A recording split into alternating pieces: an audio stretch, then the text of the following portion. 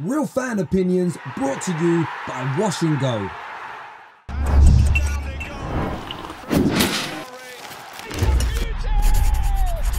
How we doing guys? Welcome to UFF Daily. First place we're going to start is Leicester and of course there's been a lot of talk about Harry Maguire especially after his World Cup performances and that he is a target for Manchester United.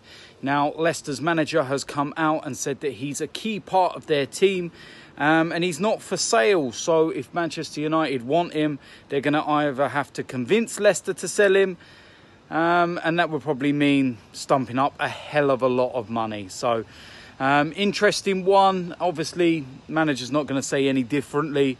Um, he will come out and stick up for his player, but um, yeah, I don't know whether that one will actually come true. I think maybe he will be at Leicester another season at least, and then maybe he will get his move to one of the top six sides. But um, yeah, we'll see over the next couple of weeks or not what will actually happen.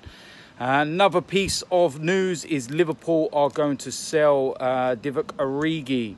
Uh, you remember him, they signed him a few years ago. It hasn't really worked out, hasn't really hit off. Um, so it looks like they're actually selling him. Don't know who to or actually who's going to buy him. I think he's a talented young player.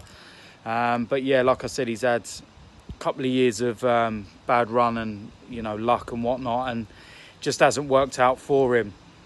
Going to go into news about Manchester United and Paul Scholes has got involved over the debate with uh, Mourinho and Pep Guardiola, and he has said that Pep Guardiola would hate what's going on at Manchester United, and he says that Manchester United will be a completely different side under Pep Guardiola. So that's pretty damning. Um, to be quite honest with you, it's not really great that when one of the legends of Manchester United starts talking about the rivals um, and that their manager would be completely different and you know better. Let's be honest. So yeah, more um, problems for Manchester United. I think they're not having the greatest of pre seasons out in America at the moment. Like I said yesterday, drew nil nil. Um, yeah, Mourinho's got to try and change things around in these last couple of weeks of the window because I think that they're going to struggle this season. So yeah, there we go. Um, last piece of news involves the legend, the man, Thierry Henry.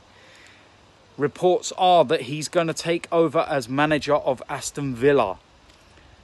Interesting, very, very interesting. I think it would be a very good step for him, a very good start to life in managerial uh, mode for him.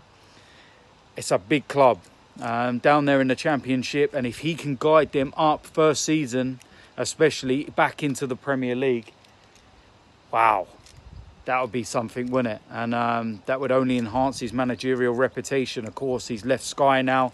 He's been assistant manager at, um, wow, Belgium. That's it. And um, yeah, this is his real chance now to go out there and do the managerial side of things. And, you know, I think that before he really makes that step, he's going to cut his teeth, um, you know, a bit lower down. And if he does it with Aston Villa, and brings them up and then does something in the Premier League with them, then you never know. Maybe in a few years he could be coming back home to Arsenal. So that's what I'm hoping anyway. But we'll see. Interesting. Um, don't know what Steve Bruce thinks of that because, of course, he's still manager. But yeah, for all intents and purposes, looks like Thierry Henry is the new man um, going to be installed at Aston Villa. So there we have it for UFF Daily. I will see you lot tomorrow. By then, I will be out in Singapore for the Arsenal pre season tour. So um, I'll see you lot then. I'm out of here.